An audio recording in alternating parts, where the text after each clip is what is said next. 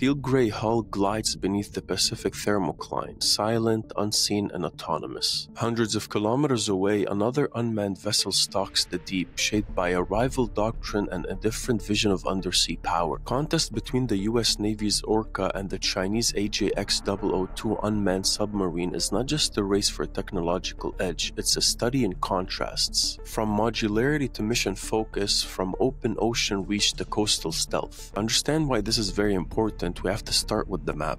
The Orca, built by Boeing, is designed for range. Over 15 meters long and with a displacement of 50 tons, it can travel more than 6,500 nautical miles without surfacing, crossing entire ocean basins on a single mission cycle. Modular payload bay with over 8.5 meters in length lets it swap out sensors, mines, or even future torpedo modules, adapting to new rules with minimal turnaround. By contrast, the AJX 002, which is China's latest large displacement unmanned underwater vehicle, is a much shorter and more compact, optimized for stealth and specialized tasks. Its hull is shaped for minimal acoustic signature with a focus on operating in the noisy, shallow waters of the South and East China Seas. Now, its range is more limited, which is estimated at under 2,000 nautical miles, but it's designed to loiter, evade, and strike within contested littoral zones. But why does this divergence matter right now? The Orca's modularity enables the US Navy to project power far from home ports and be loaded with mine laying modules for choke points like the Strait of Malacca or surveillance payloads for open ocean tracking of adversary submarines. The US doctrine favors flexibility one hull, many missions, global reach. Meanwhile, the AJX 002's design reflects China's focus on denial and defense.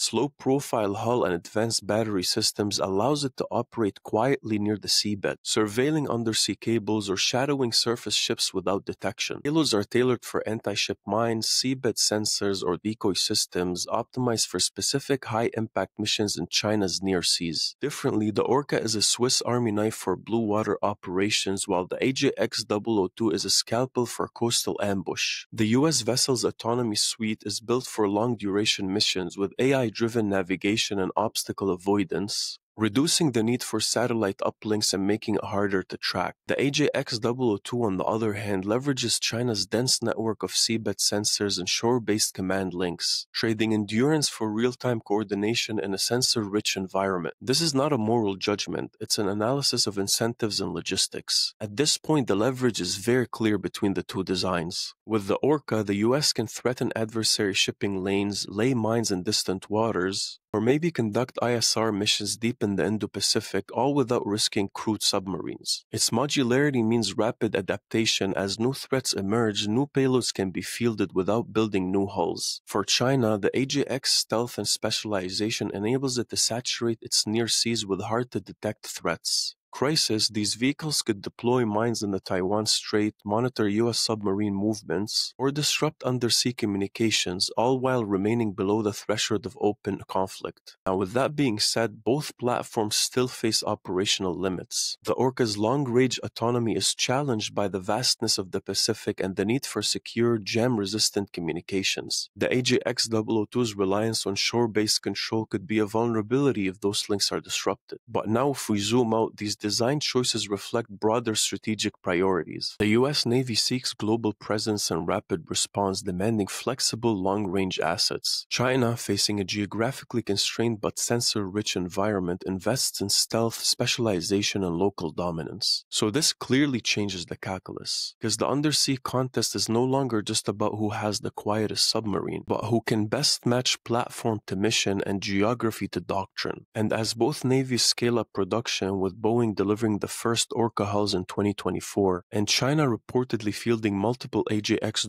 002 units since 2023, the undersea chessboard grows more crowded now. The outcome will hinge not just on technology, but on how each side adapts its unmanned fleets to the shifting realities of underwater warfare. As in the deep ocean today, the race is not always to the swift, but to the most adaptable. So if you like this kind of content, do me a favor, like and subscribe for more.